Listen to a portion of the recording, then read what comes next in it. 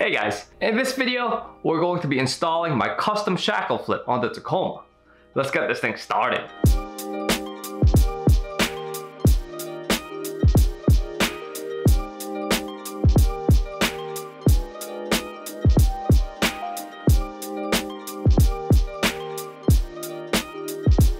So for those of you guys who are new to this channel, my name is Carl, and this channel is dedicated to all things mods, DIY, and engineering for second and third gen Tacomas. So make sure you smash that like and subscribe button already. Do it now, guys. Come on. Do it. Do it! So this video is part 8 of the trail damage repair series, and this also dovetails to part 2 of the extended travel rear suspension series. Yes, it is very confusing, but I do get into that and much more details in the last video. So make sure you guys watch that. Now let's get to work. We left off with the rear spring hangers completely removed and we also finalized the design of the shackle flip system. Now just to point out guys, there are additional steps that we do need to do in order to achieve that full droop for this system and I'll quickly touch on those. Number one, we are going to need extended brake lines and a way to lower the ABS harness. And here's what I did temporarily, just so that I can get the system tested. So I did take this lower brake line bracket off of the bracket on the axle housing. So this is uh, basically lifted up. This brake line bracket was also removed and loosened from the top. And this harness, I believe this for the ABS, was on this bracket here and I took that out too and just have it dangling. So this allows us to at least not overtax the brake lines or any of these electronic cables. Number two, the end of that tailpipe is also in the way. And usually for that mod, it would require to cut all the way back to here so that this tailpipe doesn't interfere with the leaf spring on the way down. Number three, we are going to need extended travel shocks. And I do have a few that's already specced out that should work with the system, but do let me know what you guys suggest and leave those thoughts in the comment section below. Last but not least, we are also going to definitely need limit straps and updated bump stops so we don't damage those new shocks. We'll tackle this problem one at a time, but for now, let's get to installing that shackle flip. So these are the old shackles that I have. They are a little bit bubbly from the corrosion.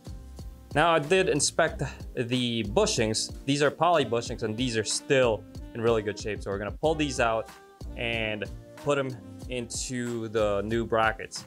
And if you do want these exact poly bushings, I'll be linking them down in the description below. These bushings are made by Dobinsons. All right, now that internal sleeve is gone, well, I'll just have to pry these poly bushings out. We'll just have to get a pry bar underneath here and then just work it around. Slowly work it around just like that. Eventually you can rock it back and forth, pull them out. For the other side, we'll just take a socket and just hammer it from the opposite end.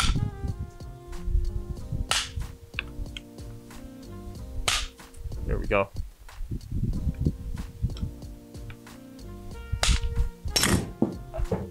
So I'll just use a Windex, clean up all those surfaces there, and then put it uh, on the press press it onto that upper frame bracket. We'll start with taking some wheel bearing grease. Dip my finger in there. This, this is the bracket. We'll just coat that whole interior with that wheel bearing grease. We'll also coat the insides and the outside of these bushings with the same wheel bearing grease.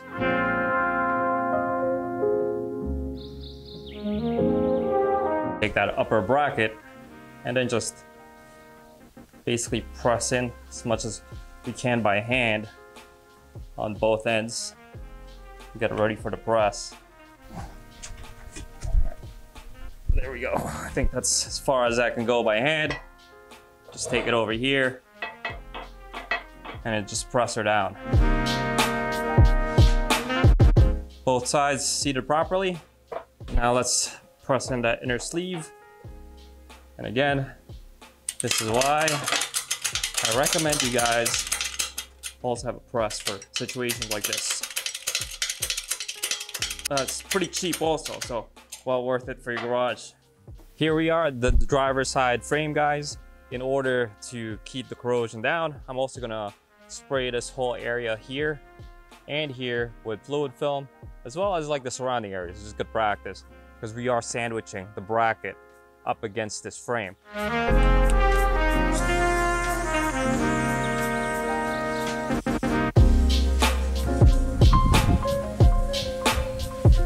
Now we could put in the bolts. Remember, this is positioned so that it's forward to the back side of this frame. So position that just like that. And we'll put this other bolt in here. It should be able to just float without the other hardware in the meantime. And for this, I do have the bolt and a washer right up on, uh, on that bracket. Now we can put these bottom bolts in. I'm putting a washer and a nut, this nylock nut, right behind it.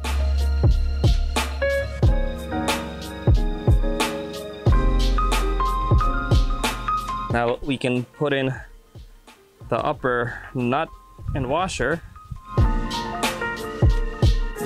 Now we are also going to put in this bolt and washer for the rear end of this frame. And before I snug any of these down, I'll put some anti-seize on the threads. Future planning. And this is to the front of the thread, so as I tighten these down, those uh, the anti-seize get spread on the, those threads. Let's uh, snug it down.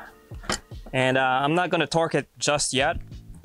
We'll snug it down with starting the front the forward most on the bottom, then the rear most at the top, and then we go rear most on the bottom, and then this one's the last one. Now we can torque down all these bolts to 80 foot-pounds, doing it in the same cross pattern that we did to snug them down.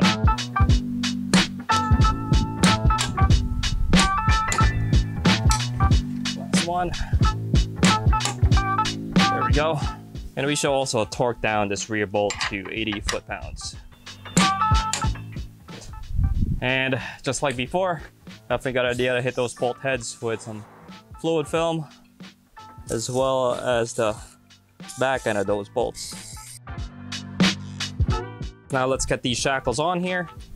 And for this, I did already put some wheel bearing grease in the bolts. Just throw them on there we are going to have to manipulate that leaf spring a bit in order to get the bolts kind of seat properly. Just like that. So now let's get this opposite side mounted. Similarly, we'll have to manipulate that leaf spring. We really just need the bolt to kind of go in the hole and we'll use, we'll let the threads do the rest of the work. Just like that. Now we can put our anti-seize. Not too much on that one.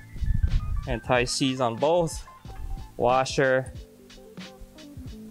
And then our nylock nut.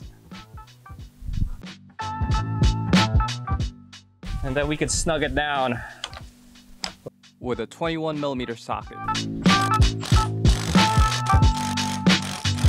All right, now ideally we would want the truck on the ground before we tighten down these shackle bolts, but I'm going to do something similar, which I'm just gonna jack up the diff and just get the spring to compress. And these we have to tighten down a 100 foot-pounds.